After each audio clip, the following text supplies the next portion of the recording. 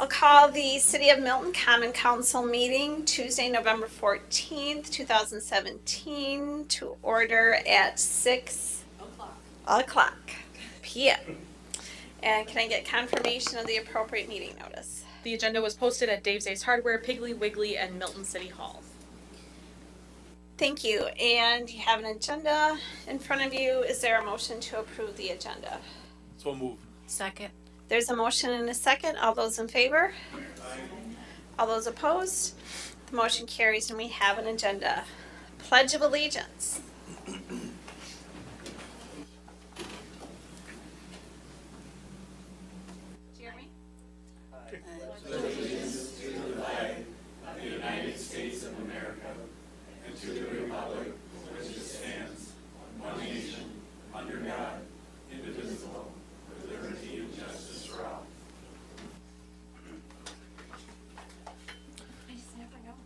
Ryan's, Ryan's next. Ryan will be on the twenty-eighth. Well, I, I invited a group of Cub Scouts on, on the twenty. Oh, great. That's perfect. Yeah, that'd be perfect. Great. You got out of it. And then mine can go on to. Yep. Yes. We'll, we'll just have an agenda, agenda item. All those in favor? Yeah. Yeah, oh, Yeah. well, Mark's not here. It's a Wild West all of a sudden. Okay. Item number four, approval of the consent agenda. Make a motion to approve consent agenda. I'll second it. There's a motion and a second. All those in favor? Aye. Those opposed? The motion carries. All right, what we've all been waiting for, for months. For months. Okay, s- Item so- number five. So what I will do uh, is I'm going to give uh, just a, a quick, I'll say quick, uh, presentation regarding the budget. And if, if folks recall, back on October 17th of this year, we provided uh, a, a similar presentation that showed the preliminary budget at that time. Uh, And that, that had a handful of assumptions in it based on information that we had not received from the state yet. The good news is, is that we have all of that information now today, and that's included in this presentation and was included in your packets that were uh, mailed out on Friday of last week. So this is an updated version of the budget. In addition to uh, updating that budget that was pre- presented on the 17th, we also discussed at our meeting last week uh, the possibility of looking at at options, uh, two, really two different budgets. There's the budget that was basically the budget that was presented on October 17th, and then there is uh, an alternative budget, which we're calling Budget B, as opposed to Budget A, uh, that shows uh, what would happen, or what the budget would look like if we were to levy uh, to the, the cap that's allowed by the state. And that, that piece has changed, if you remember from the meeting last week, we, the budget that we prepared on October 17th estimated expenditure restraint to be at 1.9%. But uh, we found out shortly, uh, probably about two weeks after that, or maybe three weeks after that, that that number is actually at 3%. Uh, So that's good news in terms of the budget. Uh, That, that means that uh, uh, we had tremendous growth in the community and that our expenditure restraint number uh, mirrored that growth. So we're able to, the expenditure restraint cap went up, which means we're able to levy more dollars if the council so chooses. So, so we'll go through a couple of slides here, um, and some of these may look familiar, uh, and I'll point out the areas where it has been updated since the 17th, just so everybody kind of understands. But as always, we start with, these are the five goals that, that uh, we as staff kind of used in order to, to start with that base budget. We want a balanced budget, one that stays within levy limits. We want to qualify for expenditure restraint. We want no reductions in service, and we want no new borrowing. And those, at times, are very lofty goals. Uh, This year, however, um, we were able to, to do so uh, because of the growth that we had. It made, it made it easier to kind of meet some of those, uh, check some of those boxes. Taking just a quick look back, in 2016, the adopted bud- budget had uh, general fund expenditures of 2.6 million. In 2017, so the budget that we're currently operating in, had uh, uh, general fund expenditures of 4.7 million, which was an increase of about 1.3%. So general fund expenditures increased uh, 1.3% in the budget that we're in, which is a very small number. And then at the bottom, it shows the tax rate uh, from, from 2016 to 2017. Now, to compare it to what we presented, what, what we're presenting this evening, uh, 2018 preliminary A, which is the budget that you saw on October 17th, uh, shows an increase in general fund expenditures of about 1.22%, so even less than what we increased last year. So again, that is a, a rather small number uh, considering uh, the, the size of the budget and what we're able to accomplish with that. But again, that's preliminary budget A. so that's what we saw on the 17th of October. Contribut- Contributing factors to the 2018 budget construction, city's growth. Uh, The city saw substantial growth in, in uh, 2016, 2017, uh, with a net new construction increase of 1.43%. Uh, That actually constituted the second highest uh, in Rock County. Uh, That overall, how that, how that helps us is it positively impacts the tax rate. Expenditure restraint in order to qualify for the estimated $122,000 in state aid in 2019. Uh, the budget cannot increase expenditures by more than 115,000. If you may remember back on the 17th, again, we estimated that number to be, we estimated the expenditure restraint number to be 1.9, so that number was actually more like 73,000, and now it's 115. And of course, there's the affordability, which is the subjective piece of the budget, but it is one that is nevertheless, uh, it's, it's equally as important, in my opinion, as those other two. Developing a budget that maintains services at an affordable, as affordable as possible. And that's that can versus should question. Can we do something? Yes, but should we do it? That's a different question, and then, and that's, that's kind of where the tough decisions are made. As I talked about before, the city realized an overall increase in $27 million in equalized value last year. That is a very, very, very large number, one of the largest numbers we've seen i- in, in at least a decade. Levy limits are based on that number, are based on net new construction, and that number is a direct result uh, of that. Net new construction is, is new value that was created in the community. Um, So the 27 million wasn't all new value, that's increased value, but net new, the net new construction number, Dan, was, was, what was it, 5 million, 6 million? It's known as one point four three percent, Yeah. I don't remember the number. But it was between five and six, I, I think it was. not around there. below five. Yeah, I'll look it up. all right. We'll get back to that. Levy limits provide a cap in the amount that a town, village, or city or- and, and county uh, may implement a property tax levy on parcels within their boundaries. And again, remember, levy is how much tax dollars are collected by the city. And for all intents and purposes, that's actually the only thing that the council and the city can affect is the levy. Tax rate is somewhat out of our control because it's, it's a product of a number uh, of different variables. In this, uh, in this, these, these two budgets that we'll present, Budget A uh, is, is about thirty thousand dollars below that levy limit. Budget B is levied at the limit of three point So Budget B would levy to the cap that is allowed by the state. Budget A would be about thirty thousand less. And- And again, Budget A is what we saw on October seventeenth, basically. The other piece of the equation, expenditure restraint. Expenditure restraint is, is a different cap imposed by the state. Levy limits are a cap imposed on how much tax dollars you can collect.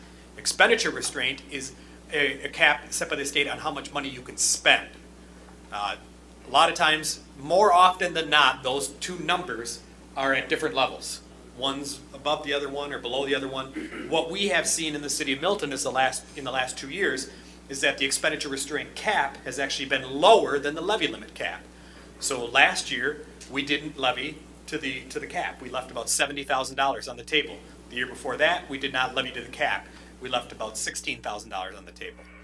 If we are to adopt Budget A, we'd leave about thirty thousand dollars on the table. So I'm trying to just put that in context. The reason expenditure restraint is important is the state incentivizes you to stay below that cap. And they incentivize you through a state aid bonus. This year's bonus was about $115,000, and we're estimating next year's bonus to be about $122,000. So if we were to violate expenditure restraint in the 2018 budget, we would not qualify for that state aid bonus in 2019. So we would start right out of the gates in 2000, in the, on the 2019 budget construct, about $122,000 in the hole. And what determines the expenditure restraint? bonus? The state. So not how much we levy and how, not how much we spend the year before. There is a quotient, that's, that's a factor of the expenditure restraint. Um, how much you levy is, is, is a port, is a variable within the construction of the expenditure restraint. But it is not the only piece. What causes that expenditure restraint to go up is net new construction, similar to levy limits or increased value And inflation. and inflation. Inflation was significantly higher this year. Just going over. Correct. There's no penalty Right. for violating, and I, and that, that's a very, No, I, it's, you know, it's probably an overly dramatic word, but to exceed, we'll say exceed the expenditure restraint cap, there's no penalty to do so. If you exceed levy limits, there's a penalty. You're in I've trouble. Communities go over. Expenditure restraint? Every year, less and less communities qualify for expenditure restraint. That's why that bonus continues to increase on a year-to-year basis. which is good for us. It is. For every community that continues to qualify for it, every time somebody drops off, it just means that their bonus grows up on a prorated basis. Yeah. So the state makes available a pool of funds, and every year, that pool of funds is divided by a number or a denominator that continues to shrink, at least for now. Yeah. Maybe someday that number will go back up, you know. But the trend has been that that number continues to decrease because less and less communities are able to meet that expenditure restraint and still function. Meaning they're picking up all their, they're paying for everything they need. Right. Right. Versus making tough choices. Perhaps. That might be one reason, yeah. I don't want to put words in anybody else's mouth. I would say that every municipality is making tough choices, and sometimes they just don't wanna maybe cut their safety services, and they'll go over Well, expenditure he- restraint here's- for, here's the- like that. Remember, uh, remember what I said is those, those two numbers are often on different levels. And, and let's say, let's say, uh, so, so last year we did not levy to the cap because the expenditure restraint prevented us to doing so. So we left seventy thousand dollars on the table in order to get a hundred and fifteen thousand dollar bonus. At some point, if that trend were continue, to continue, at some point, the amount we would leave on the table would be much greater than the amount we would receive in bonus. So it would be, so at that point, the community say, hey, it's not worth it to get this bonus anymore if I'm gonna leave, you know, let's, let's say our bonus is hundred and fifteen, but we're leaving two hundred thousand dollars on the table. At some point, many communities are forced in that, in that position, and they say, well, yeah, I really want that state aid bonus, but I can more, I can get more than that if I just levy for it, so. So that too is a tough choice that communities have to make. And in the event, and I don't want to go too far out into the, uh, into left field here, but in the event that a community goes for an operational referendum, they automatically violate expenditure restraints, just right out of the gates. Just by doing it. So, so, because at that point, they're saying, hey, we want more than our levy limit. So they've violated the expenditure restraint, or they, they've exceeded expenditure restraint, and they've, they've asked the, the taxpayers, can we exceed our levy limit as well? So at that point, then, those communities, again, are not eligible for expenditure restraint. They, they have, they, they, they exceed their levy by permission of the taxpayers. And then what happens is the next year, whatever their new levy is, that becomes their new base. And they may qualify again at that point. So, so it's looked at on an annual basis. Uh, I probably said a lot of this stuff already, but um, to qualify for our 2019 expenditure restraint uh, payment, both must apply. The city must not exceed its expenditure restraint, and we must have a mill rate over five, uh, which we which we do. Um, again, uh, all uh, all 2008 budget, all 2018 budgeted expenditures except debt service can only, can increase by no more than 3%. So back on October 17th, we estimated that number to be 1.9%. So we estimated that we could not, we could not increase our expenses less debt service by 73,000. We now know for certain that that number is 3%, which equals approximately 115,000. So with that being said, now budget A that we saw on October 17th qualifies for expenditure restraint. You might recall before on October 17th, we, we were looking at about a $9,000 cut. That's no longer necessary if the council so chooses to, to fully fund the nonprofits and, and, and look at that budget as we saw on the 17th. Budget B, which is, is the budget that we constructed, uh, that does levy to the, to the state imposed cap, also qualifies for expenditure restraint. So e- either one, we're good with expenditure restraint. Uh, So this is the 2018 Budget A construction. This is roughly what the team saw on October 17th. There's been some minor changes based on health insurance participation, uh, but other than that, this is roughly the same. Non-property tax revenue increase, uh, which is actually a decrease. Uh, Employee relations went up 67,000, operational changes went up 12,000, and nonprofit requests went up 5,400. That shows a preliminary 2018 tax levy of $3.2 million. And then we're going to break each one of those down. Non-property tax revenue increase. So that is expenditure restraint aid, interest earnings, payment in lieu of taxes, licensing and permits, shared revenue, and estimated highway aid. That's what makes up that number. So we saw an increase in our expenditure restraint aid payment, which we talked about a couple slides ago. We saw an increase uh, or in, in our interest earnings. We saw an increase in our payment in lieu of taxes. And then we have a, just a, a, a minor increase in some other areas that equal about eleven hundred dollars. We're estimating licensing and permits are gonna go up about two hundred dollars. Shared revenue went down. State highway aid went down.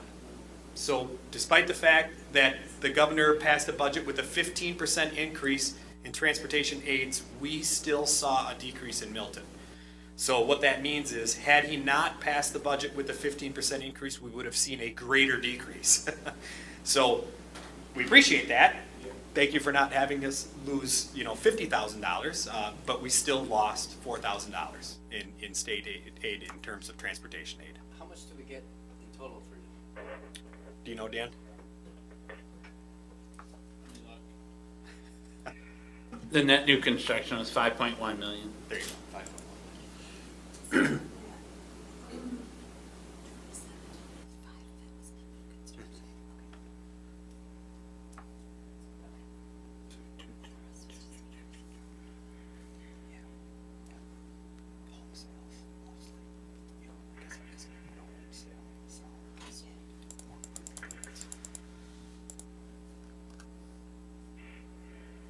thing we're not doing this live. Highway aid is three hundred and twenty-five thousand. So that three hundred twenty-five thousand is four thousand dollars less than it was last year. Employee relations, basically none of the numbers have changed on this since we saw it last time, other than a slight change in contingency. A three percent partial wage increase, uh, eight percent increase in health insurance, that's the, the city's contribution to health insurance. Health insurance costs went up eight percent, the city's portion of that is, is, is fourteen thousand, the employees take on the other portion of that. We're increasing the buyout, uh, from two hundred to three hundred dollars a month, uh, in order to kind of meet that increasing cost of health insurance and continue to incentivize, frankly, people to, uh, choose other health insurance is, is, is you know, as callous as that may sound, it's, it's the way of the world right now. Uh, reallocation of DPW's time, we do this every year. We look back at about a three-year average of where our DPW workers are actually working, where they actually spending their time. Uh, because remember, not, so what we're looking at here is simply general fund. So every year, we kind of do an evaluation of where folks spending their time, and what we've seen is that there's been an increase amount of activity in, in general fund activities as opposed to stormwater, water, and wastewater. So that's what that means. Uh, one and a half percent increase for police union contract, that's, uh, that's per their contract. Level funding police wages, we've had a lot of changes and undulations in, in the police department over the last, uh, two years, really. And this level funds the police wages, so there's not big spikes, uh, as, as folks move up through the, through the union ladder. And then our decrease in contingency of thirty-five thousand dollars. And that was, that was simply to, again, to balance the budget. Operational changes, uh, it's probably easier if you look on your computer than try to read that up there, but I'm gonna do my best. Fire department increased eighteen thousand, that was the budget that was, uh, approved by the fire commission. Law enforcement, uh, equipment and, and operations, there new equipment being purchased, um, um, redoing the, the new, new pistols, um, new radios. Um, elections, we're gonna have four elections in, hopefully only four. In, uh, well, I guess, I guess we can't have a special election in twenty nineteen, or twenty eighteen. Yeah, so four elections in twenty eighteen as opposed to the, the one we had this year, or two that we had this year. our legal increase uh, based on the contract that we signed last year. Uh, Capital expenditures uh, increased about $5,196. And again, these are increases over the 17 budget. Other miscellaneous uh, increases and decreases, that's where kind of everything else gets lumped in. You know, minor changes to supplies, minor changes here, $50 here, $100 there, equates to about 9,900. Uh, Increased water rates for the splash park.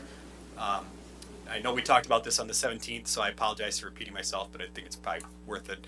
Um, You know, we had a rate increase and, and the city charges itself for the water that it uses. Uh, That's by law, we have to do that. Uh, Increase in the mayor council training budget of $2,100, and that's just to match basically what the, what the practice has been. Um, This year, I think the budget was uh, 2,400, and it was, and, and it was far exceeded, so we wanted to kind of match that up with reality.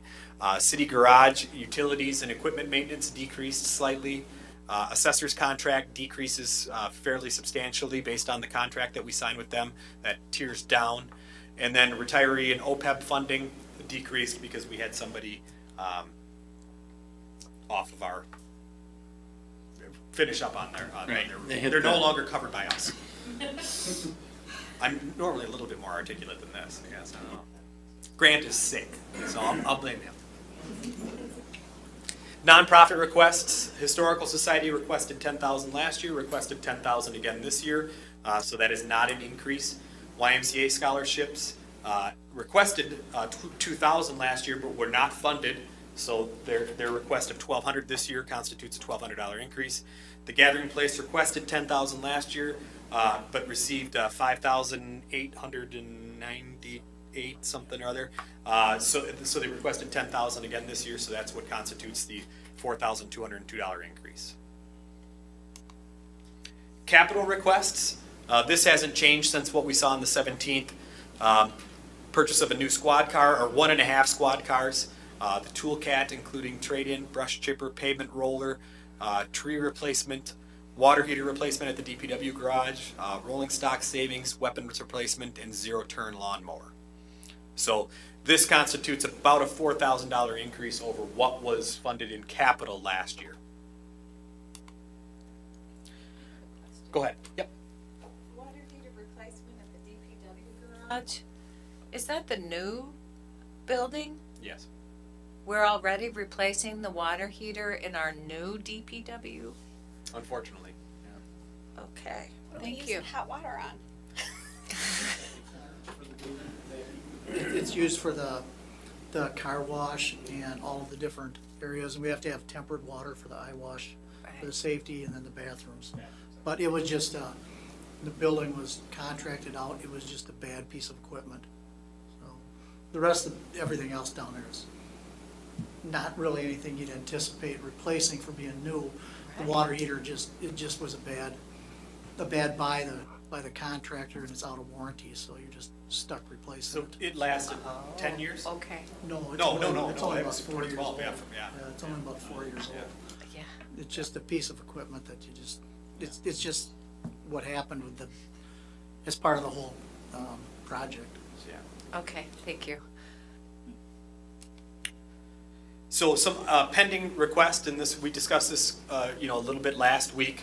Uh, What are some outstanding capital items that we know we will eventually need sooner rather than later on some of these? Um, Parks mower, snowplow lease, sidewalk repairs and installation, library parking lot, go ahead. I was just, I mean, it's not like we're not spending any money on sidewalks, right? Right, what we have, uh, what we have is an assessment fund, and that, that's how we, that's how we, uh, fund our sidewalk repairs and, in like sidewalk gap installations. Eventually, that money will disappear though. It's, it is not a recycled fund, it is, there's a, there's a pot of money there and it shrinks every year. So, there's not a, there's not a sustainable funding source for that. And we have lots of sidewalks that are in need of repair, because if anybody wants to borrow my chair, some. And these, uh, we, we fully fund the sidewalk repairs. We don't assess Correct. those to homeowners, for the most part. If, if it's a new lot after nineteen ninety-six, then they pay for their own sidewalk, Okay. or new New development. installation, New installation. but not repairs. Replacement and repairs the city pays Yeah. for. Okay. The general fund does. Okay. I don't want that to get worse So in this budget, um, how much did we have dedicated for sidewalk repairs, Dan? We've historically just taken, we've budgeted twenty-five thousand. Um, Whether we use it all, because we break the city up in quadrants and replace what's necessary, but I think this past year we spent twelve or thirteen. So, So the library parking lot, and that's, that's the one behind the building. I want to make sure people understand that. If you've been back there, it's in rough shape. Uh, We need to repaint the splash pad, um, and that takes a very special type of paint when you consider how much water and traffic and making sure little kids aren't slipping and stuff on it. That needs to be repainted uh, about every three to five years, depending on usage and sunlight and things like that, so. Uh, the Highway 59 turn signals, it's been probably one of the most common requests, I, I can easily say that since I've been here, is, uh, can we please put a turn signal at the Highway 59 and Janesville Street intersection? So we've looked into it, and that's, that's what the cost would be, believe it or not. Uh, yeah, flashing yellow turn signal, Oh, yeah, I see. Yeah. Flashing yeah, yeah. Yeah. Uh, seal coat the cemetery in Cross Ridge Park, seven thousand dollars. The Liberty Park fence, if you if you've ever noticed, there's portions of that fence that are in pretty rough shape. And then a commercial carpet cleaner for our buildings, uh, here, library, uh, other places that are carpeted.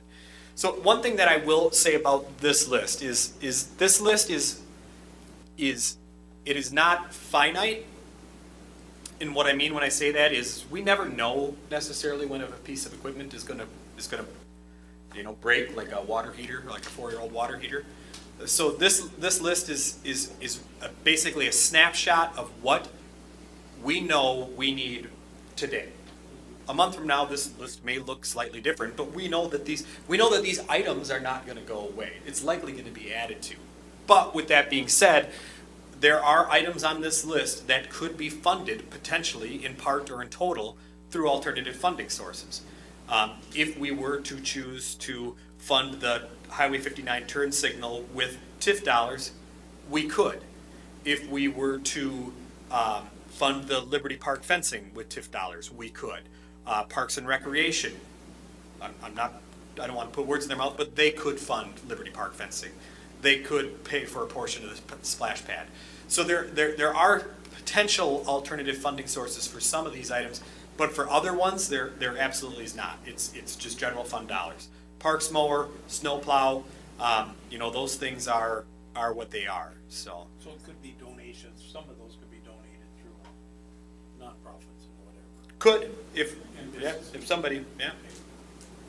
Yeah, like something like a, and, and something small like the commercial carpet cleaner, that likely could and will be purchased with, you know, if, the- if there ends up being a, uh, a, a small surplus at the end of the year, or if we sell another piece of equipment, similar to what we did with the, with the uh, barricade trailer this year. We were able to fund that through basically two alternate funding sources. We, we applied for a grant and we, we realized greater revenues from a sale of an existing piece of equipment. And those two pieces together were able to fund that. So we look at the, the, this list is kind of always in the back of our mind. Sometimes it's in the front of our mind. Um, so we're always looking for ways to, to take items off of this list to, per, to satisfy items on this list. But some of those larger scale things, you know, the snowplow lease, thirty-five thousand dollars, that's just one, that's one year's payment. That whole vehicle is probably closer to hundred and sixty thousand dollars.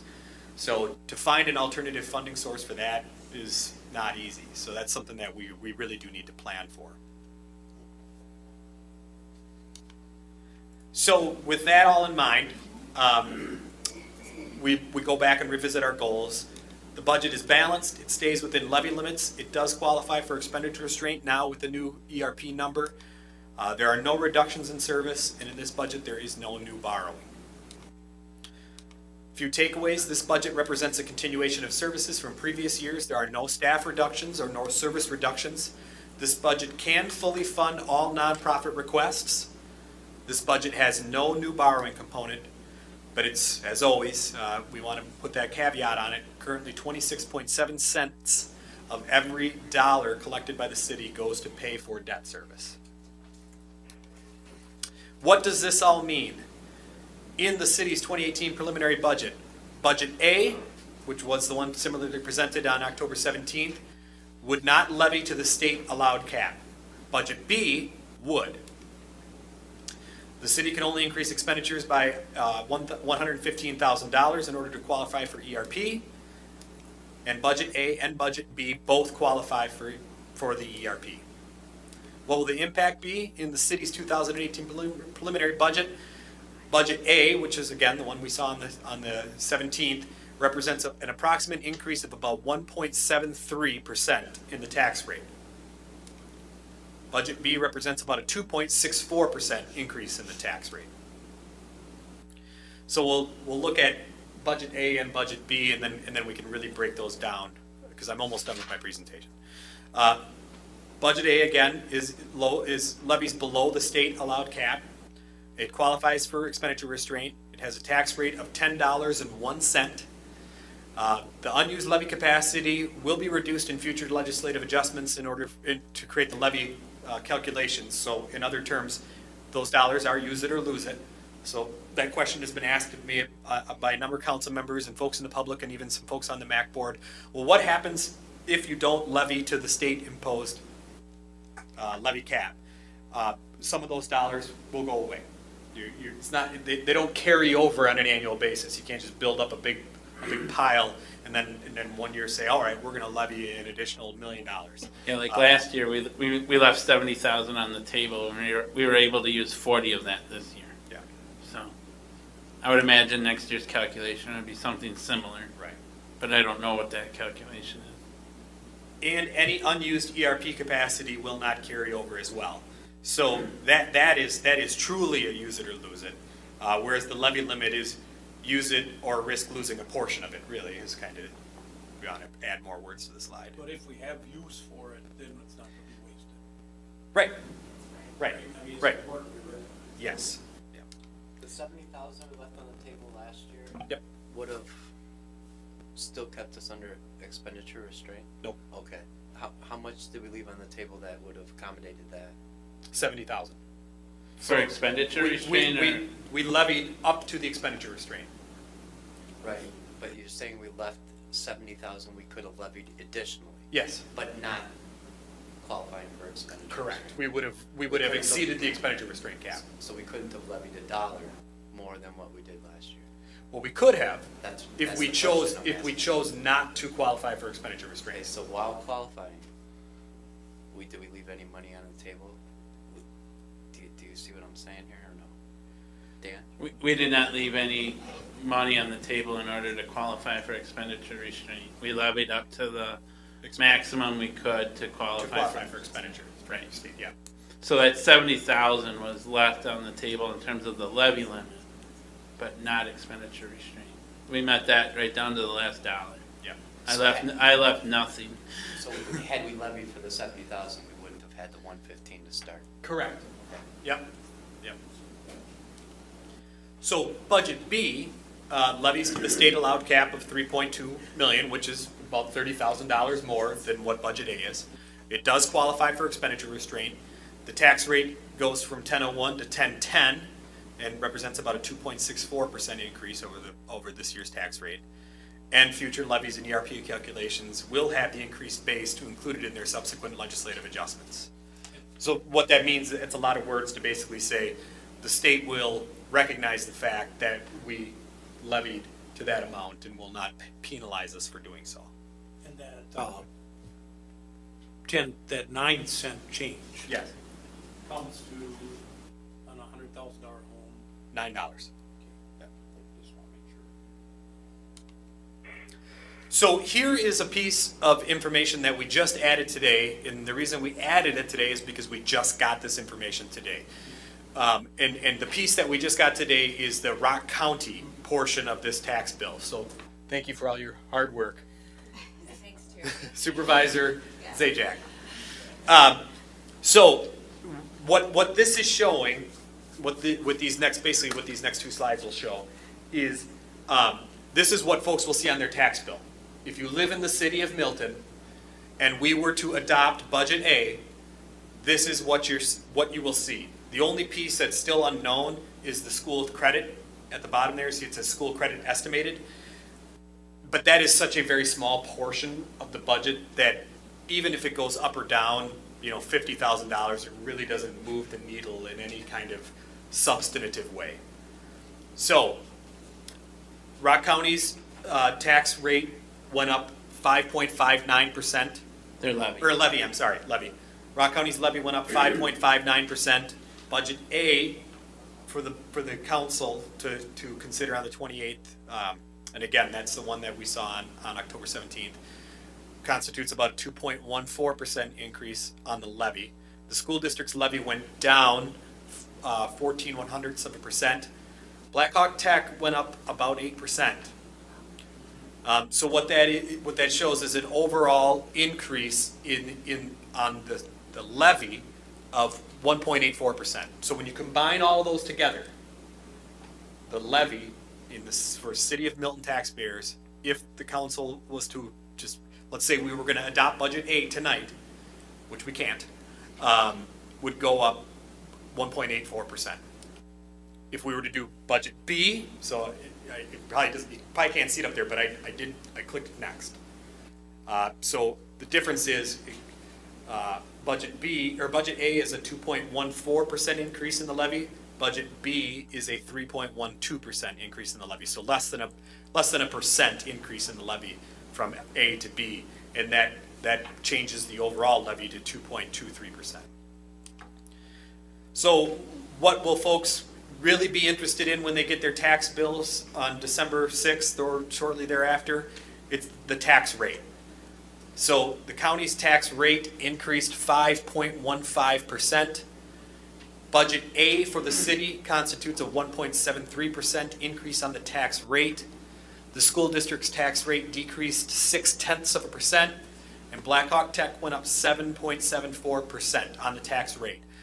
So again, if the city, let's just pretend hypothetically, the city was to adopt Budget A tonight, and we all went on our merry way, the residents of the city of Milton would see an increase of 1.4% on their tax bill.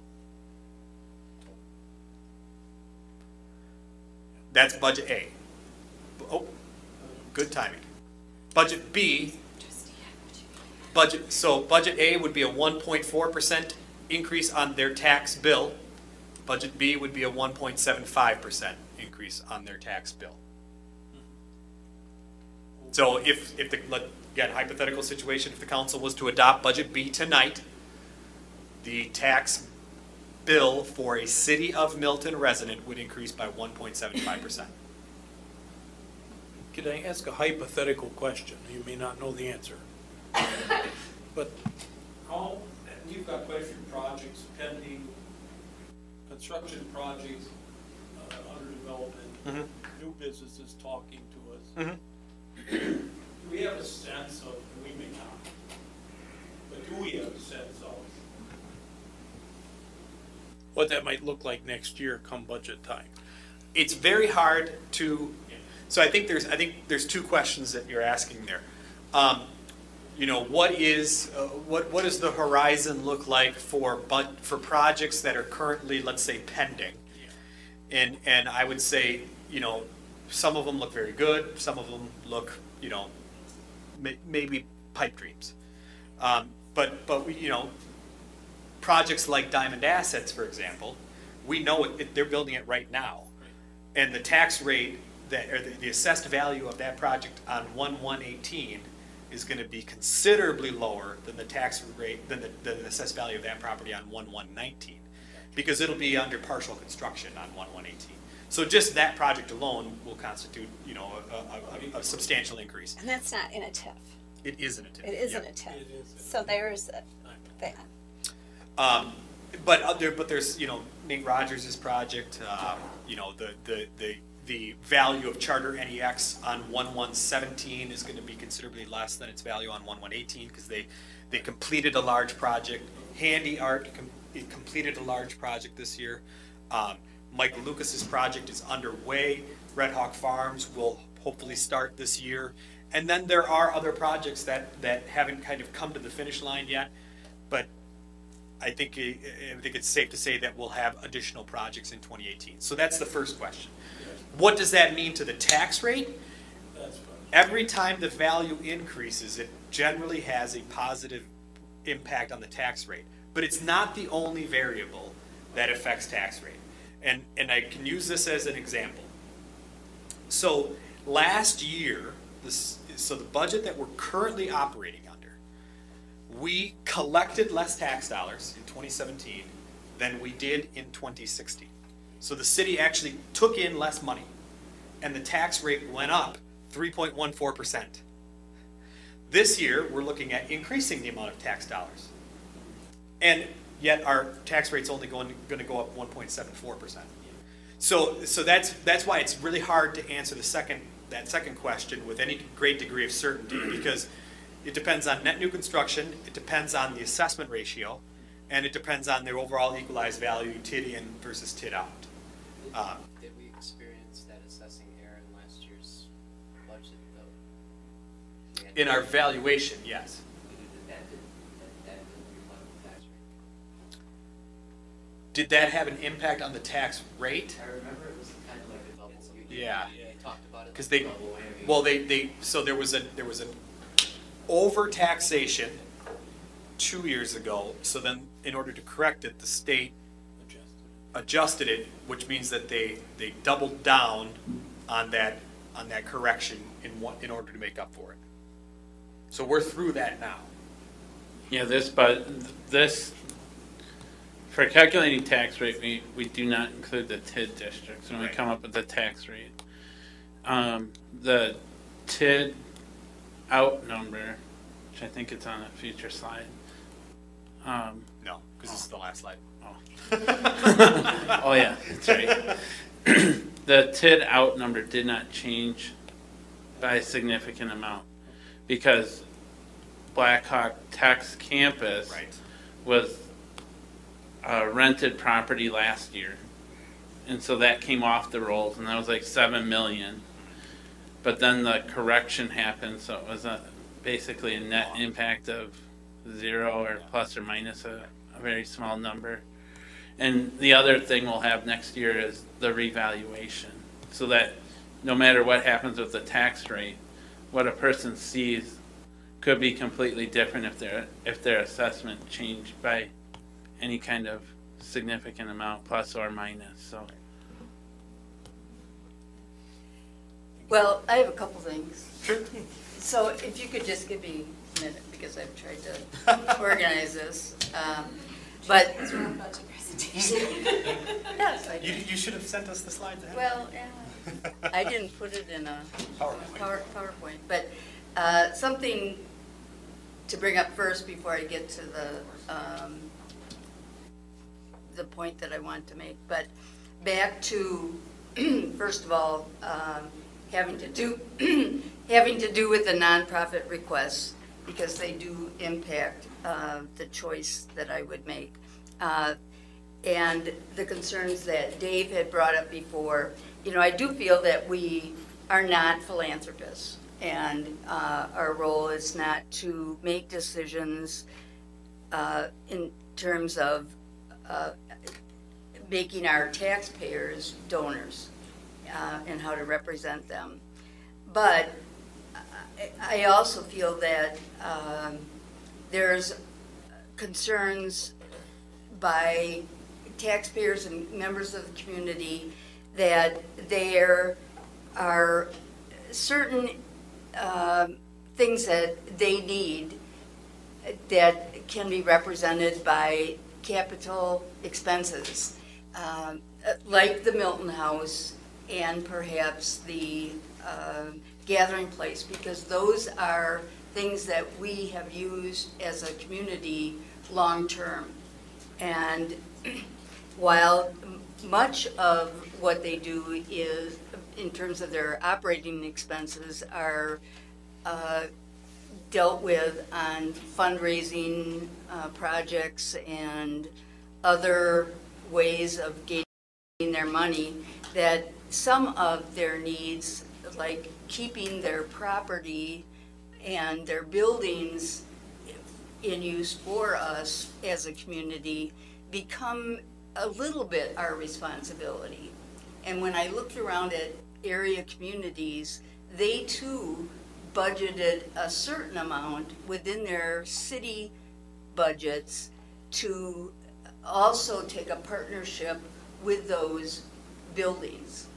And, and I don't mean a lot of, of their money, but the, as they worked along with them, they, and I don't know what the funds would be, they were different than what we called them in the school district. There was a community fund where they could, uh, place the money to keep year after year after year and keep adding money to that fund so that you were working toward a, a project. If you were, you know, if you had a living document and you were working toward, um, a project of redoing a part of the Milton House, and you added a certain amount that was budgeted, uh, for the Milton House each year. And you would keep that in a, a fund, certain fund over time. So you're Sa- saying like if, if there was like some project that required like thirty thousand dollars and the council said, we're gonna allocate five, ten, whatever that number is, once that number's hit, then you would release those funds for that project? Correct. And even if you don't know what the end project is, you would do it annually, and over time, they would be fundraising for something, and you would get to it. But we would not release that money for operating expenses. In the same way with Gathering Place, you know, they have certain projects that they are looking forward to down the line, but we would be putting money into the, into a capital budget or a fund, and over time, then they would come to present something to us and want to gain money from that account.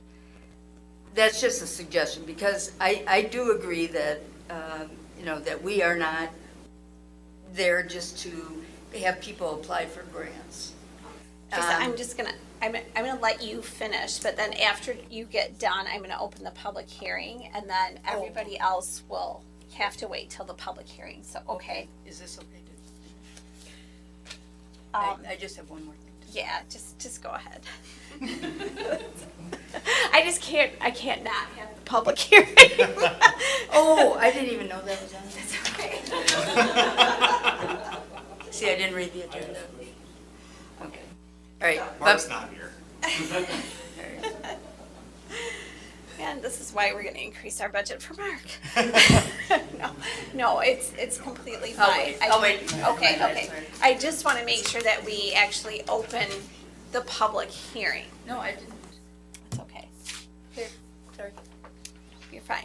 So, the public hearing is now open for anyone that would like to comment on the budget. We should take call-ins. Like, our- next year, we'll do call-ins on the public hearing. Yeah. We'll stand-up, broadcast. I think that's a great idea. Okay. Let- Put that on the next agenda item, how to continue. Yeah. So, okay. So, anybody want to speak? I'm, the public hearing is open. Well, I, I more came in case any questions came up. I know that's seems Okay. a lot. Okay. Mike Pierce said he wanted to say something though. Oh, okay. Is there a Mike Pierce in the house? Okay, all right. um, I'm gonna close. Oh, you make me shut up for all that. That's awesome. Okay. That concludes the legal Any portion other of this. questions or comments? The public hearing? Okay, um, I'm gonna close the public hearing now, and I wanna thank the audience for their participation, especially the, the sign language was great. Um, and now, um, we're gonna get back to, um, the city council's discussion, direction, and possible action comments, and we will, uh, turn it over to Teresa. Okay, the last part of what I was saying, as part of what I was saying that they could contribute over time, uh, brings me back to the last point in that overtime is significant not only for community projects, I do think that they're significant for the city projects. When I look at your lists of, uh, current capital expenditures as well as pending. uh, I do think that we need to, as a council, look at them and see those lists much like we see, okay, what did you purchase in 2016? What did you purchase or have you so far purchased in 2017? And what do you already have on the budget for 2018?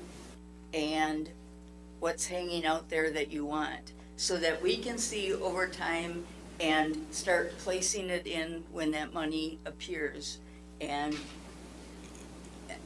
I mean, I need to see it so that you, rather than just coming into a meeting, you say, okay, we found twenty-five thousand dollars, we can get this. But somehow see it visually and so that we can be at a meeting and say, you know, maybe we could do this instead of that, or, I mean, not that we're making decisions for you, I don't mean that, but we would like to creatively find the money as well. So I, I'm gonna, um, so does anybody else have, uh, comments just to keep this going so we can follow it easier on the capital request part of the budget? I do. Okay. And I- Go ahead, Dave. I'll, I'll, I'll go you, I'll pass to you. Okay. Um, I guess to start with, uh, I know we're not making a decision right now.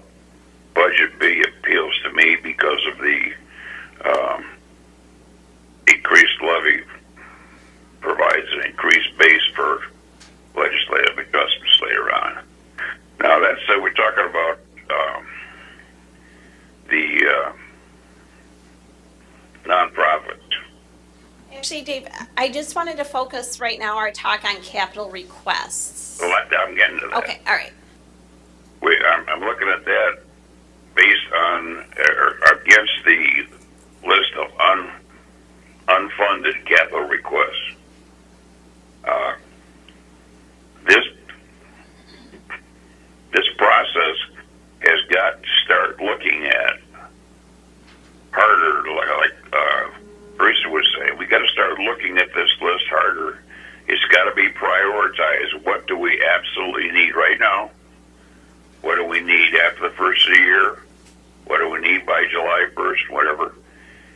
And that's got those decisions based on uh, need have to be made without any regard to nonprofit funding or anything else. Now, this profit B, or budget B, gives us thirty thousand more dollars, and that could be put towards some of those projects. You got twenty-one thousand dollars sitting there in the nonprofit funding that could be put towards some of those projects. And to me, to proceed with any budget that does not even look at these funding projects and yet holds twenty-one thousand dollars in in a pocket out here somewhere for the nonprofit is irresponsible because these needs, whether it's next year or the year after, are going to come back and bite this city and bite it hard. We got to start looking at it. We got to start addressing them. So Dave, are you saying that we haven't been addressing our capital projects in the past few budgets, the past few years? Or you think that we're just not addressing, putting enough money towards the capital projects each Last year? last year we left what 130 some thousand dollars worth of projects on the table. There were a couple of small ones during the year with excess funds that we had, but we did that because we had to leave money on the table for the nonprofits. That should not, that decision for nonprofit funding should not even be discussed until we've taken care of as many projects as we can. It's like I've said before, our legitimate responsibility is to fund the government of the city. They are not part of the government of the city. We've got to realize that. So um, one of the things that I just I because I don't remember from last year um, off of our capital requests um, from 2017. Uh, I was looking at the list of 2018 capital requests, And so I was asking Al if he could comment on our 2018 capital requests, what ones are from 2017 and what ones will always be on that? So I, I think the, the question is, is we had a similar list to, and what we're talking about is, is, um, I need to get rid of all those animations. It looks great when you're going forwards, but, so what we're talking about is, there's a 2018 capital requests that's included in the budget. And I think the question is, what items on this 2018 capital request inclusions were items that were on the 2017 exclusions? Items that were not funded in the 2017 budget that are now being funded in the 2018 budget. And if my recollection, and Howie can correct me if I'm wrong, I believe the toolcat, brush chipper, and uh, zero turn were items that were on last year's unfunded list that are now funded this year. The squad car, the one and a half squad cars will be on this list probably forever. Uh, they- They'll just be on it every year. Uh, But, but to, to, to the mayor's point, and, and I think to Dave's point is, yeah, there, there was, a there was a, a lot of items that didn't make the cut last year. And, and so now some of those items have been bumped up to this year um, because we're able to fund them. Some new items appeared because of necessity, like the water heater and the weapons replacement.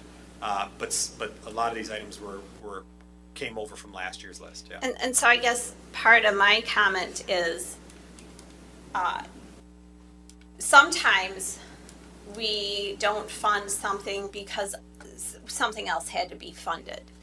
Um, so it's not always because we didn't spend enough money on capital requests. And I'm not saying we should or we shouldn't, but I want to make sure that we're not, um, leading people to believe that some items came off the list, um, because there wasn't enough money. Some items came off the list because some other things had to be funded, and that's just kind of how it's always going to be.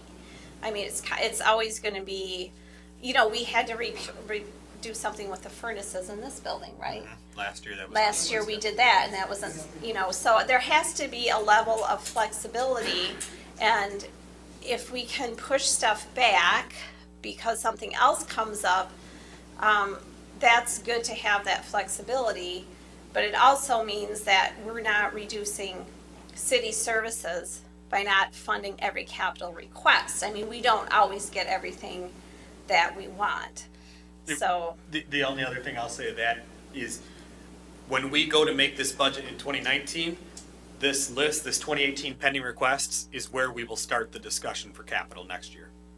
So this, so I think to, to Teresa's point, I think what you're asking for is, can we show kind of, you know, what, what did we do the last three years, and then what are we looking at for the next three years? Yeah. Yeah, yeah. So you're looking for like a capital improvement.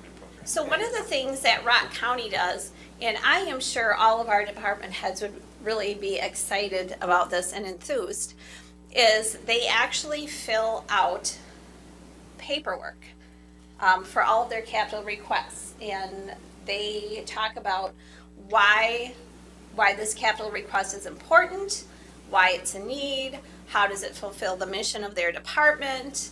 And it's, it's a one-page form, and it, it uh, gives more definition. I mean, Howie's like, oh, this is lovely, because I How- want to fill out. Howie, Howie already has that for So his you are- department, yeah. We've done that He would, before. it would, I mean, yeah. It's, it's nothing out of the Yeah. ordinary. Yeah, so. So I mean, actually but, has that list. but that's something that really the, the council doesn't have, hasn't been looking at, and I don't, and this, I'm not speaking for you saying that that's something you even wanna look at. But if you wanna have a bigger picture, a greater understanding of how this, this fits in the overall budget, that's also, you know, more, more background information that we could look at too.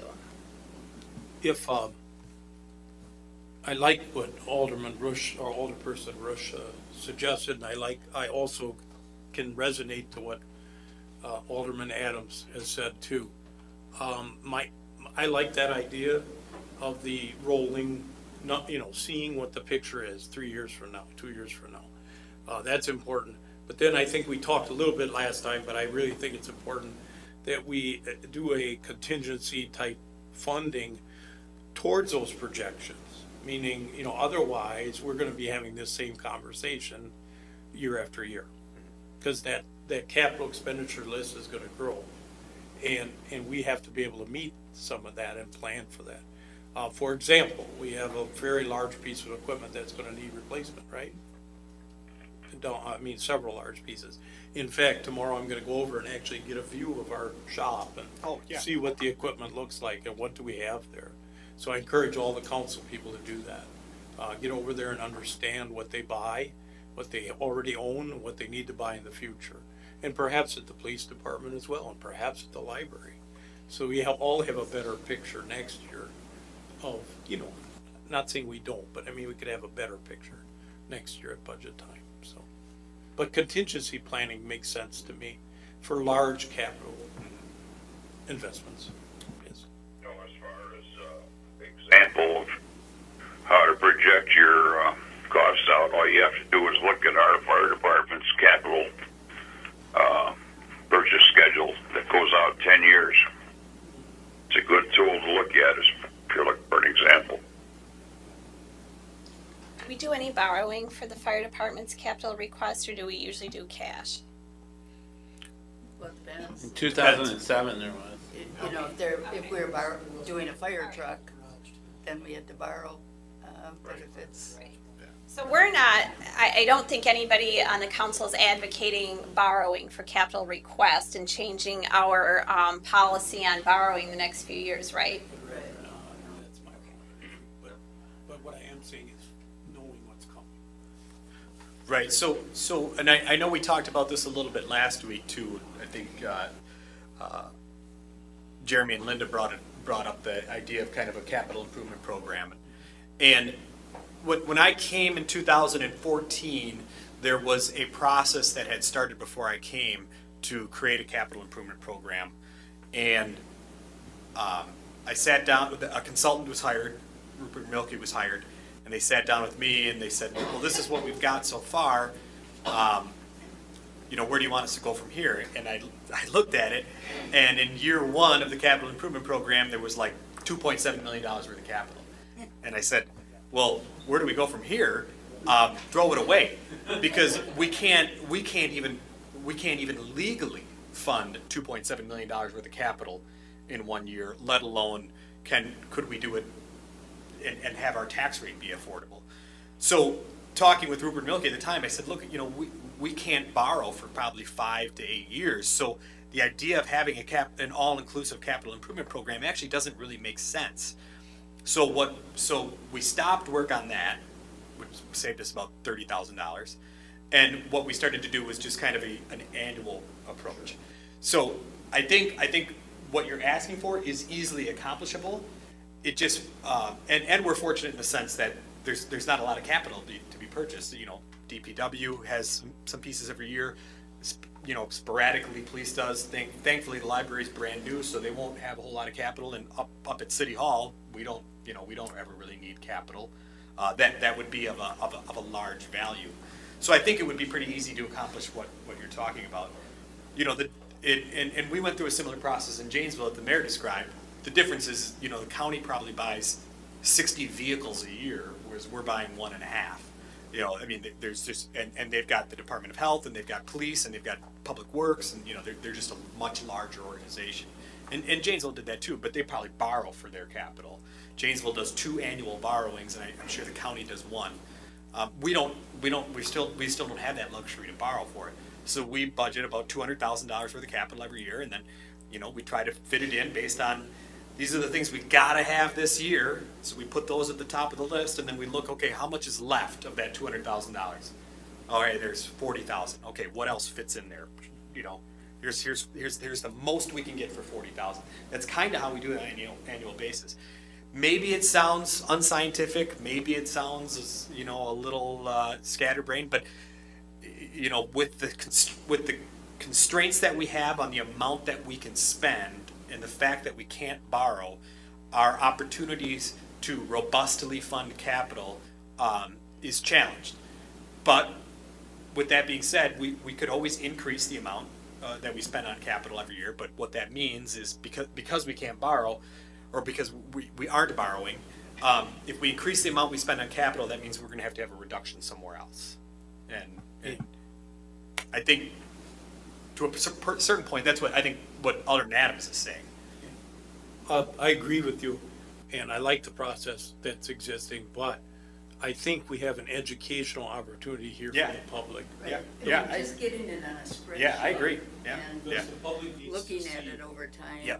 It- See what the council has to do. And, and I will say, Howie has that, and uh, we talked about it after the council meeting last, last week. He's, he's got that information, and I'm sure Scott could probably put something together very quickly too.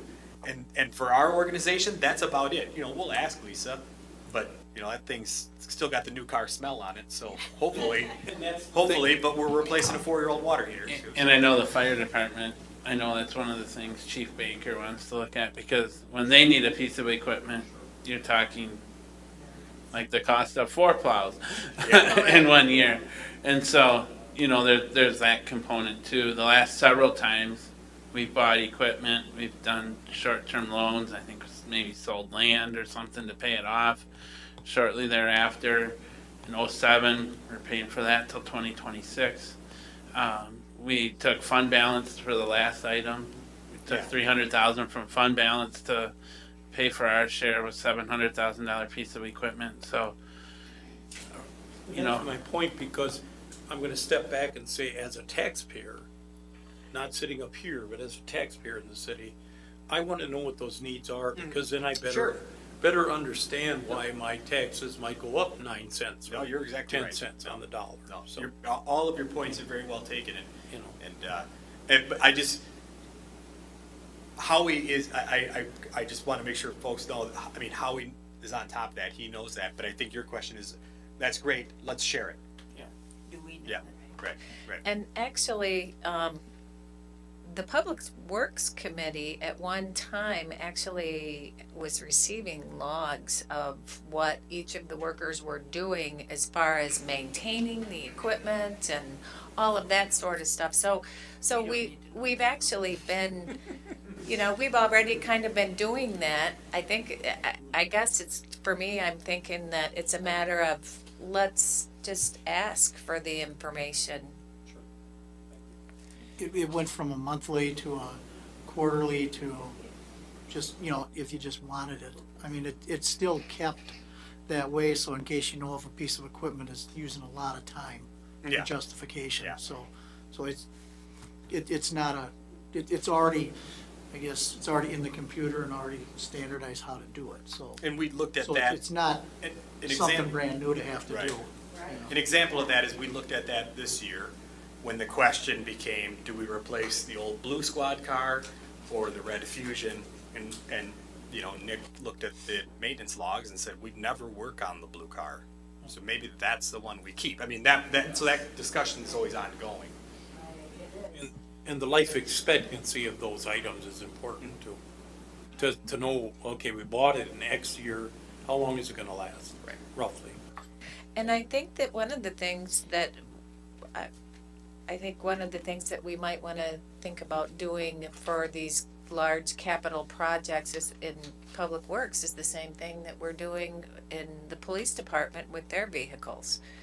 You know, we, we budget a certain amount a year for vehicles, and I know uh, um, Howie and I have talked about some of his equipment, and some of his equipment he leases and he does a lot of creative things so that he can get what he needs through the purchases and uh, working with different companies and such. And um, I think if I think that it would actually be a good idea to do a, a snowplow fund or something like that. But then I'm wondering if if you actually do you know, the question, I guess, would be is, do you want to put that money into a contingency fund and use it as you need it?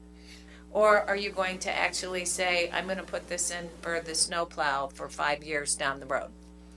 I, I think, um, to a certain degree, I think that is the question, yeah. Um, uh, one thing I will say, and, and this is, maybe this is just inside baseball or just, you know, in the weeds.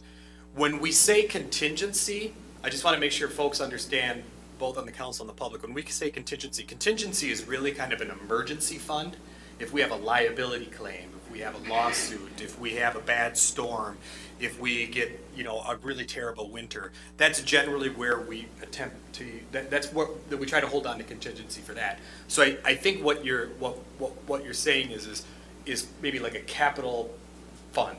Or, or a- like a rolling capital replacement fund. Like Jerry Right. mentioned last Yeah, time, yeah. yeah. So I just want to make sure that the vernacular is, is, is consistent there. Um, we, in this, in this proposed budget, we reduce, reduce contingency because, because, you know, it's, it, it, we had to balance the budget and that was something that didn't affect service. It was a, it's a risk. Anytime you reduce contingency, it's a risk. You never know. You know, we had two lawsuits this year. You know, we had a handful of claims. Last year, we had a ton of claims for some reason. I don't know why. Um, but you know, you, you just never know what, what the year is going to bring. So that's really why we try to hold on to contingency. And every time we lower contingency, it's it's a risk. It's a risky run. Uh, so so I, I just wanted to kind of make that distinction.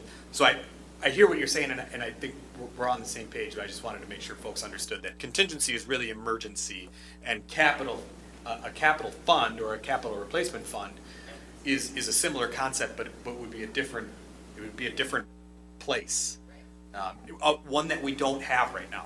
And we could see- Hopefully, hopefully, yeah, hopefully. Because we had one and we spent it all.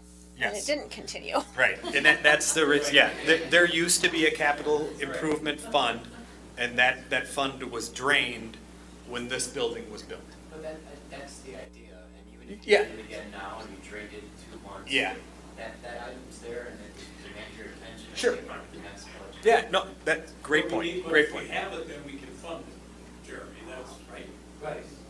Well, I mean, we're gonna have the same amount of money. It's just what, what fund are you gonna put it in? Thank you. It's not gonna be significantly different, even if you have thirty thousand dollars. It's just, Right. what fund are you gonna put it in? Right. Want to It's a start. want to make just an observation. It's kind of a little bit of a segue, but I was looking at the uh, uh, agendas from or the um, agendas from last year, and nine projects we didn't or nine capital expenses we didn't pay for last year. At least is the budget process.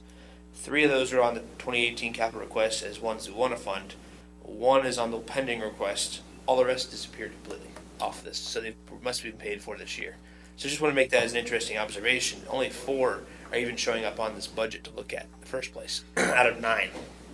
So, which is wonderful, but it also says that things they're making on the pending requests are still getting dealt with on a yearly basis. They And are. looking at the pending request this year, last year it was all vehicles, or you know, it was all things like DPW, things like trailers, vehicles, all things like that. This year, if you look at it, it's roads, sidewalks, things like that. So It's a different kind. just want to point out that we have all these pending requests, but they still get funded somewhere I or mean, another. it's not a crisis situation it's not. where, If, if it was a crisis situation, it, it wouldn't be on the pending list. Right. I will say that, yeah. But, but a couple years from now, it could be. Oh, yeah.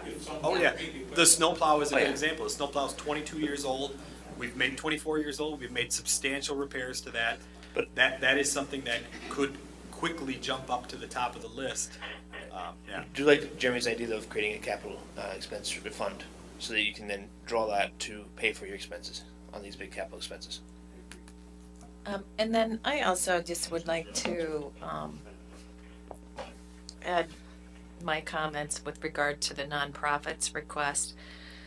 Um, I just listened to Stephanie Klett talk about the billions of dollars that the state of Wisconsin gets from their tourism.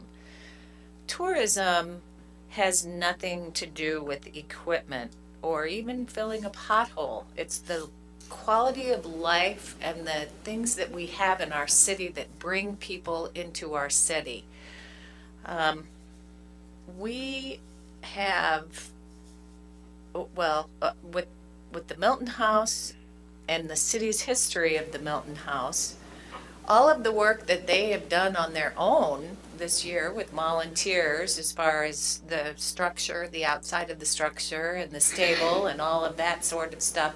I mean, that's something that people come here to do. to go to the Milton House. We have days set aside that you can see on the website if you look of things that you can do to when you come into Milton. If you want to spend the day in the Milton, these are these are your suggested things that you do. Um, I am 100% for supporting the nonprofit requests that we have been asked for this year. I am 100% for doing that. Um, we have a population of people that's aging. We have more people that are going into the gathering place. Um, they're always they're always busy. The parking lot's always full when they're open. There's you know I realize that not everybody goes there, but I also realize that there's people that go there who live in the city of Milton that utilize those services and they deserve to have a place to go. They just they just deserve to have that. Now, um, the questions that I raised at the municipal conference with regard to the gathering place specifically and the funding of um, senior centers, I got a I got a wide variety of responses from people. I had I had one group that said that they did not support the city in no way funded theirs. I had some where the Cindy uh, one only one. I had one where um, it was it was in conjunction with the Parks and Recreation. I had one that um, the city actually were it was an employer. The city the city was the one that was managing the senior center, and then there was the one where it was a it was a combination of both. Um, I, I, as a city representative, I understand that my job is to make sure that we have in our city departments the things that we need to run the city. But I also realize that it's my responsibility to keep the city going and to make it the city that people want to come to, whether they're coming here to live or they're coming here to visit for the day or they're coming here for a wedding or a class reunion. Um, that's part of what that's that is part of our city income. That's what supports our businesses. Our, our businesses support the school. It's all just it's all a cycle, a great big circle where we're all just supporting each other. And I, I would never say that I'm not going to support the nonprofit request, but I would definitely like to say that I think that if we did a capital replacement fund, I think that that you know if we go with um, B, which I am leaning towards, um, I think that having a capital replacement fund is a is a very good idea. Um, just um, but I also want to point out that there's always going to be something on that capital list. Uh, and it's going to change by month, may change by year. There's always going to be something there. And so I think it's important that we look at everything overall. And I really don't think that, I don't think that what our nonprofit request is asking for, I really just don't think that it's that much for what they do for the city and the people that live here. Jeremy, did the county eliminate all of their nonprofit funding or are they still funding some nonprofits? Um, approximately, I think four, four different, um, nonprofits weren't funded from the original budget that we approved today, but we approved a motion to, uh, explore, explore, uh, funding those in a different way that kinda at least acknowledges the Attorney General's opinion on, on whether or not you can uh, donate to, use tax dollars for nonprofits. Um, United Way and, and, and Health Net seem, seem to be the two of the four that would um, benefit from the, the new the new program, and that's basically asking for uh, contracted services, uh, paying for specific uh, line item type things in, in, in order to give them the same money to do the same thing that they were doing. And same goes for United Way. Um, nothing was official today, but at least uh, we've moved the administration towards trying to accomplish that. Do you remember what, how much the, overall funding was? Yeah, it was a prop, uh, it was approximately seventy-four thousand dollars, twelve thousand to RVCP, R, R, RVCP, twelve hundred to some neighborhood donation charity thing that kind of, I think, has been ignored for years and years and years and could have stopped a while ago. And then, uh, Health Net, fifty-seven thousand dollars for the services they provide, and, uh, four thousand was to United Way. And that was the total. That was the total, and then both programs for United Way and Health Net can fall underneath this new category, either a relief program set up, um, it'll be something brand new, like a capital account, or, um, just a contract for services. And could you just, um, Al, I know that, that we had talked about this. The, um, direction that the county was given from the state, could you clarify if that same direction is, goes to the municipalities also? Right, so for, I guess to kind of catch folks up in case they, they're not aware of the conversation that's going to happening, the Attorney General uh, made a, made a ruling or an opinion uh, that county boards cannot fund certain types of nonprofits. Um, So the, the question that I have gotten from a number of folks, including many folks on the council, is does that ruling apply to municipalities as well? And the answer is no. And the reason being is that county board uh, budgets and, and their allocations are, are addressed in a separate section of state stat- statutes than, than city uh, municipalities uh, are. But with that being said, uh, the other part of that that is still somewhat concerning or alarming is uh, the attorney, uh, when, when asked, when the Attorney General was asked about, well, what about cities and villages? Basically, the answer was, I wasn't asked that question. So what I hear that as, I wasn't asked that question yet.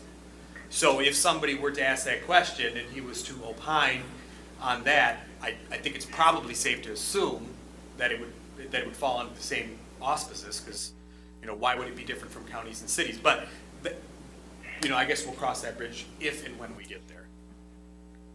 Looking at the statute that was recommended, um, it's allowing counties to give money to nonprofits that provide specific services, but this includes assistance to senior citizens, historical societies, fairs, tourism attractions, and victims of domestic violence. Those are the ones that are approved to receive funding from the state through counties. Also included in that list? I missed. Could you read it again, because we were having some interference? Um, The statute fifty-nine. Okay. Looking it up, it says state statutes allow counties to give money to nonprofits that provide specific services, including assistance to senior citizens, historical societies, fairs, tourism attractions, and victims of domestic violence. And, and see now, both of these programs in which we're exploring provide services, but we've been giving them in lump sums, and then they do their operational capital, they, they, they do their own business. So that's kind of where we're at. Right. So municipalities are, are uh, specifically addressed in the statute that um, they can donate to those um, different categories. So it's actually Counties are. counties. Yeah, the municipalities are not addressed. They're- At all. they're- he- He's silent on municipalities in his, uh, in his opinion. But is there a there isn't a statute then for, No, it, It says state statute, but it's like you said, towards counties. I think, Yeah. what I was trying to make is if that you're trying to extrapolate what he's saying about counties into municipalities, it's kind of null when considering the nonprofits that have been brought forward. Those that are historical societies providing assistance to senior citizens, victims of domestic violence, etc. we have none that would be excluded from that list that are requested. Okay. right, yeah, if it, if it was apples to apples, I think is what you're, yeah. And, and to, to your point, this, the statute that governs county boards is, is completely different than the statute that governs municipalities in, in terms of their, uh, uh, what they can fund. So I've never, I've never read that portion of the state statutes as it pertains to municipalities, and if Mark was here, he he- maybe he's never read it either. I, I don't know why you would, I guess, unless you could asked this question. It may not outline anything like that at all. Yeah. And I just want to point out, um, as far as I'm concerned, these areas are, this is the quality of life that people in the city expect. And I think that as us as the government officials, that we need to, um, we need to do what we can to enhance the quality of life and to continue it as best as we can. Those were cities, not counties that you were talking to. Right. So it seems like there's, depending on the city, uh, people have different philosophies on, on how to, uh, how to spend their money in their budget. Um, some are, we're not gonna do anything for nonprofits, and some have a variation, if that's fair to say. And Ryan wanted to say something. add to what she's saying about those talking to those cities. When we were at the League of Municipalities conference, talking to a couple different cities, all the ones I talked to all support do stuff for the nonprofits. They donate money to nonprofits. Um, one of the ones I talked to was like Madison, though. They, they actually allocate money to a committee who handles all the nonprofits, for example. So, Which is something that Larry had brought up last year. yes. And that's my point to it, just that I'm not opposed to helping nonprofits. What I want to understand and make sure we all have an understanding of is a clear process. That's, that's clear and fair and equitable to everyone. And that's something that we've asked, I know, uh, that, um, Ryan and I asked about it also is, you know, can we, can we take a look at this at the beginning of the year and, and, and see if there's something else that we can do with this, so that it's, so that each year for budget, we already have something in place for a process. Is there any further comments uh, about the budget regarding uh, capital requests, nonprofits, A or B? um, Yeah, any- Anything any- else? any- I guess, From, from staff's perspective, any direction that you can provide us in terms of A or B, and if B, what, where would you like to see that, those dollars go? I've heard a lot, I, I think I've kind of already heard that answer, um, but it maybe, well, I guess, I guess maybe if there's a differentiation of opinions from that, or, or maybe an affirmation. What I've heard is that it seems like the majority of folks are interested in budget B, and there seems to be some interest in a capital replacement fund. Um, so that, that's what I've heard so far. Dan, would you agree? That's what I've heard too. Okay. Okay, so I'll just make a motion that we go with budget B. And that with that budget, we use the thirty thousand dollars for Seven hundred and eighty-four. seven hundred, what? Thirty thousand seven hundred and eighty-four. Oh, right. Can, can I just make a, a recommendation? Instead of saying, I make a motion to go with, can, maybe it's better to say, make a motion to direct staff to prepare, to prepare budget, a budget reflective of budget B with the inclusion of the thirty thousand seven hundred eighty-four dollars as part of a capital replacement fund? Yes, so moved. Does Because I- everybody understand that motion? I want to make it very, very clear that the budget is not approved and cannot be approved tonight. That, I just want to make sure that that's very, very, very clear Thank you for that to correction. Becky. Yeah, yeah. Second. Okay, so everybody, does, okay, we're gonna have Inga read it back, and this is a motion re- regarding directing staff to prepare a final draft Yeah, to, well. or Yeah, a, to a budget, a budget to be brought forth for Yeah, the potential. resolution. Yeah, a resolution to be brought forth for, for potential adoption on the twenty-eighth. Correct. so we're not adopting a budget tonight? Got it, Right. okay, all right. Inga? So correct me if I'm wrong. um, Alderman Alder was Alderperson Clark motioned to direct staff to prepare a budget reflective of budget B with the inclusion of thirty thousand seven hundred and eighty-four dollars for a capital improvement fund.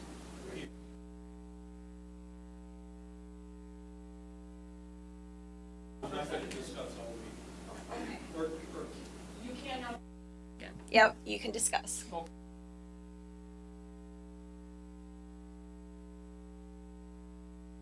Capital account, if you will. Oh. Does that make sense? Do you mean bring forth a, like a? Yeah, we're, yeah, we're just at least a sense of, okay. Does that make sense? I'm not saying it's part of the budget per Okay, se. so we have a motion and a second, so I'll have to vote on that. And if you want to make uh, another motion after that, That's probably, yeah. Okay. To amend this? or, Say it again, Dave, please, I'm sorry. I said it's just, just to fully understand that still with the twenty-one thousand dollars still in the budget for nonprofits. Yes. Well, we haven't decided that yet. right. Right. Sense?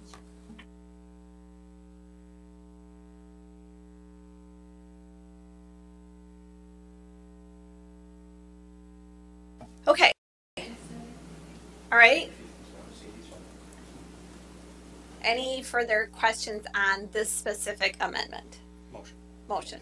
Okay, now Dave has just confused me because when I look at this paperwork, I'm seeing that B is, that leaves the nonprofit request as is. Yes. He's just saying we're Okay. not approving it.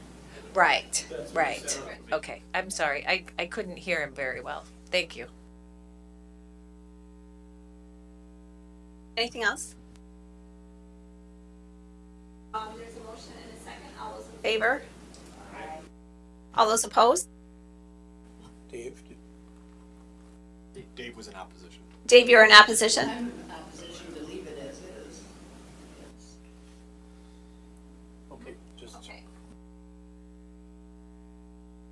This is just um, directing staff to prepare a, do you want to read it back, Linga? Uh, motion to direct staff to prepare a budget reflective of budget B with the inclusion of thirty thousand seven hundred and eighty-four dollars for a capital improvement fund. So it doesn't say anything, it's just looking at budget B and putting that money towards capital improvement. It's using budget B as our primary for our discussion. Couple weeks. I, I didn't want to identify yet how to use that thirty-three. Oh. Thirty thousand No, dollars. no. So you, you won't have identified how to use that? It's just No. going in the capital improvement We're fund at gonna this create, point. we're gonna create a, a line item called capital improvement fund. Okay. Then- Yeah, so. then I'll- uh, And then. I don't think he understands it either. No, and then we'll do that second part later. Um, Dave, do you under, did you understand that? And, because Teresa had a question. Okay, so, So do Teresa- you approve or no? I'll go along with it. so it's unanimous then? Okay, all right.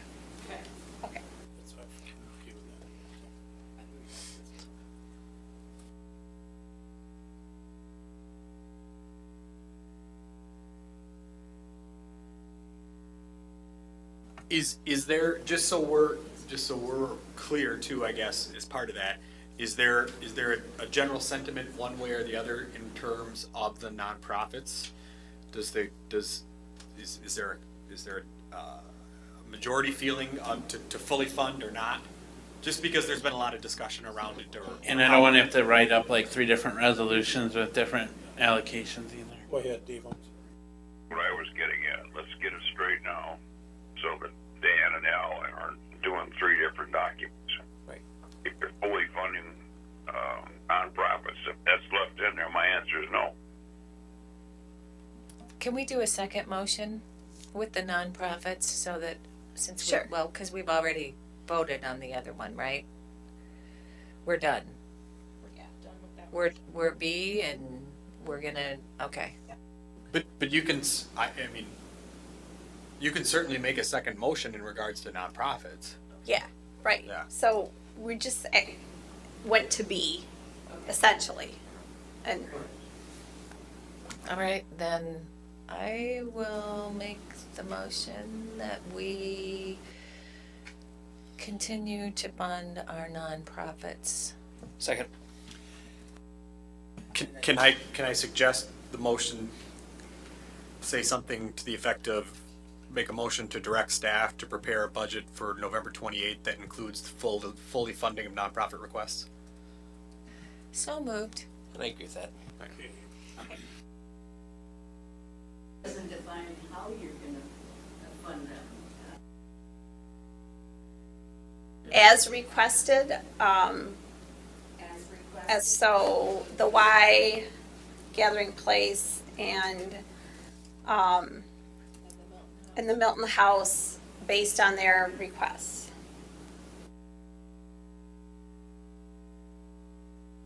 And then we had a second, right? Do we have a second? Okay, all right. Discussion. Discussion. And you can still, I mean, that's one way to fund nonprofits. You can also have motions to fund nonprofits, but fund them differently. So this is fully fund as they all have requested, the amount. Okay, Right, it's not to vote on the budget, but for staff to prepare a budget. I'm okay Larry. with, I'm okay with that, with the caveat. And I know I've been harping on it, but with that caveat that we seriously do something for next year. I Which feel- we already voted on I to know, do that. and we did. Yep. And, and we directed staff, but I don't want to lose sight of that. Um, I do agree with Alderman Adams, and I agree with others who say we should fund, fully fund it. So I'm struggling between the two, to be honest with you. Lucky you don't have to pass a budget tonight. That's right, but I, but I'm on the fence, so just so you all know that when it comes time for our voting. There next might be time. a tie vote. Thanks for the warning. I might be sick. No. Um, and Ryan, Personally, I think we should fully fund the uh, all of the nonprofits. Um, I think as far as as I mentioned last week, I looked at our comprehensive plan, which is kind of our goals as a city, I guess you could say. Uh, it kind of a direction to us as to how we need to look at driving the city forward, and all throughout that plan are these non uh, are these nonprofits mentioned quite often. Um, First of all, in our goals, number three on our goals for the city as a whole is to protect valuable historic resources that contribute to our unique character. Moving into that more uh, in our strategic initiatives, our very first strategic initiative is to make Milton a destination. And going with that, when you go down into page 45 of our um, comprehensive plan, it brings up cultural resources. And as the very first cultural resource, it mentions the Milton House specifically. And it mentions our goal inside of cultural resources as a city are to celebrate historical and other cultural resources as key assets of Milton's character, which to me means that it's part of Milton as a city um, itself. And therefore, I think that's something that should be uh, funded in that sense because it is part of Milton. It's our part of our identity and everything. And that, that's the cultural side of things. You also have the community facilities section, which mentions specifically the gathering place as well as the YMCA. And the, the goal there is to maintain the city's high quality of life through access to a wide range of sustainable public services and facilities, which these have proved to be. Especially the gathering place has gone and provides so many services to the city as well. And one can't really think of much about what's going on in the city without thinking of the gathering place or the Milton House. They're both names that are heard throughout the whole city as a whole. And to me, that means that they're a big part of the Milton's identity as a whole and our identity. So really do think that these need to be funded, even if it's for operational, because they are part of us as a whole, as a city. any other comments? Just that, uh, you know, I don't dispute that we should, should be uh, funding the um, groups, the non, uh, the groups that we have talked about, but that I am opposed to funding them for the operational uh, costs that they have applied for. And, you know, I've explained earlier that there are other ways to approach this, so. Something I will also mention is a lot of these organizations, they get grants for doing special activities, but it's very hard to get money, I think, for operational expenses. So I think it's, to me, it's reasonable to ask for operational expenses. And correct me if I'm wrong, Carrie, but getting grants for events and stuff is actually, I would say, a much easier task than trying to get something for operational expenses. And Let's- so, Let's say easy in a very relative term. I it's a relative term. I'm not saying it's easy to get, because I know there's a lot of work involved, and you get, be- don't get a lot of them. It would be the argument to, well, why don't you get grants? Right. Which is something that's presented to every nonprofit, get a grant for it. And- Grants have to be event-focused, program-focused, and frankly are competitive. Right. You're competing against twenty other nonprofits who also have the same. And the Milton House goes for grants actively. I know that the Gathering Place, I believe, goes for grants actively. Both do active fundraising to help cover their expenses as well. But a lot of that funding goes to their actual events or things like that.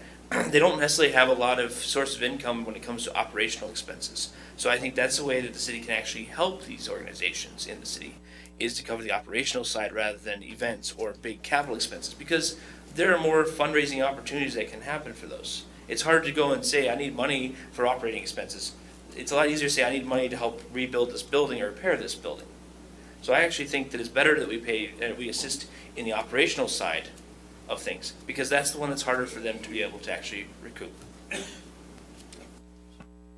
Any other questions, any other comments on this motion? One more from Larry. Yeah, Yeah, this is what we're here for. When I did my document, you probably all saw that, the, and I bring it back to that, the primary purpose of a city council or a town board or a village, uh, group of uh, trustees is to ensure that needs are met in the community. Needs of, you know, safety, public uh, health, um, et cetera. I- That's our primary purpose for existing. So for my, my dilemma is when push comes to shove, the priority goes to the taking care of city services. I think the priority is always there. Well, yeah, not only is that priority alwa- always there, but then you also need to remember too that, I mean, we have people that rely on the meals at the gathering place. So I guess I consider that, and not only that, but they also offer immunizations and um, checks on uh, different kinds of physical checks. Um, I don't know if anybody else gets those things where you can have pay a hundred dollars and they'll look at all of the veins in your body or whatever. Those things, those types of things happen at the gathering place. And it's specifically for those people that have those types of needs. Um, and I also would just like to add too, that, um, the gathering place, um, does accommodate people with different types of disabilities too. Um, and not just physical disabilities, also emotional disabilities. There's a sign right on the door at the entrance that they welcome people with dementia. They're dementia friendly. You, know, you don't have that in a lot of places. I mean, I, I just wanted to point that out. I guess I will add one thing though. I will say, Larry, that it does also make sense to look at our process for this. So I do agree with the idea of, of looking at our process of how we, you know, fund nonprofits and stuff. But um, I think it is something to continue to, to do. But it doesn't hurt to look at our process. So I, I do agree with you on that. Well, and I think, uh, you know, the public spoke quite loudly when they made our comprehensive plan. Um, that these were things that they, that they valued and wanted, um, the city to somehow support. Now, I guess there's a, a debate on whether, does support mean financially or, you know, how do you support that? But, um, we we put forth a lot of effort to get community input on, on doing that comprehensive plan and did, we spent a lot of money on updating our comprehensive plan. So I like that um, that Ryan referred back to our goals and our strategies with that because I think that's something that a lot of communities sometimes put together and then they put it aside and it's meant to be a guide for how their city grows and what the future looks like. So um, I would encourage everyone to look at that and, and be familiar with it too. And we also had a lo- lot of people here at our last meeting too, in support of the nonprofits. Other part we have to remember is the city does a lot of in-kind donations that are not, I mean, I think the nonprofit community needs to recognize the in-kind donations that this city makes to them for all of their events, supporting that, putting up picnic tables, taking care of the garbage, um, um, parking lot renovation, all these kind of things. I mean, we're not, not helping people. So I, that's very important because I've had people call me saying, well, Larry, you don't want to help people. That's not true. We do the payroll for the gathering place. Go ahead, Dave, I'm sorry. I say we do the game, uh, the payroll, for the gathering place. We, uh, I'm not sure how much, I think we paid a good chunk of that parking lot for the film house. I, I I guess I, I want to get the idea that I'm against these, I'm not. My, my problem is priorities. And when Larry uh, laid out his, his, uh, deal or his process, he mentioned there's going to be years when we don't have the money. I don't want this thing to be a uh, laid out in concrete thing that we're bound to do every year. And and right now, to my way of looking, all the unfunded uh, uh, issues we've got, we don't have the money to give away. I don't have a problem with when we have all our stuff taken care of, and and there's twenty thousand dollars sitting out there if they wanted to apply for it. But to just automatically have to budget that every year, regardless of what else is going on, to me doesn't make sense. Thank you, Dave. Is there any other questions or comments? I just would like to comment that I can say for myself in the time that I have served as a city councilwoman, that there were many, many years that we did not do anything for our nonprofits. And what, I'm, as far as, as far as giving them money for, like Ryan said, operations or building repairs. And as a result of that, a lot of those, a lot of things got, you know, the, the buildings were worn and places were closed down and pe- there weren't people in the facilities to help and, and, you know, it's, it, it was very obvious. And as a matter of fact, I can, I can tell you that that's one of the main reasons that I've always been a supporter of the nonprofits because I don't want to see these things go. I don't want to see the buildings collapsed and in need of repair, and I don't want to see empty parking lots. Um, I want to see people coming in and enjoying them, and more importantly, so I'd like to see the people in the city of Milton enjoying them, and I think that they do because if they weren't enjoying them, then, well, they wouldn't be asking us to help support it. Okay, I'm going to call a question. All those in favor? Do you want me to read it? Yes. Okay. After we read it. Alderperson Clark motioned to direct staff to prepare a budget that includes fully funding nonprofit requests from the Gathering Place, Milton House Museum slash Milton Historical Society, and the YMCA of Northern Rock County. Alderperson Holbrook seconded. Okay, so I'll just uh, do a roll call vote. Linda? Aye. Jeremy? Aye. Brian? Aye. Teresa? No. Um, Larry? Opposed. Dave? Thanks a lot. I, go ahead. Prepare the, prepare the document. And you can all tie the vote up next week again,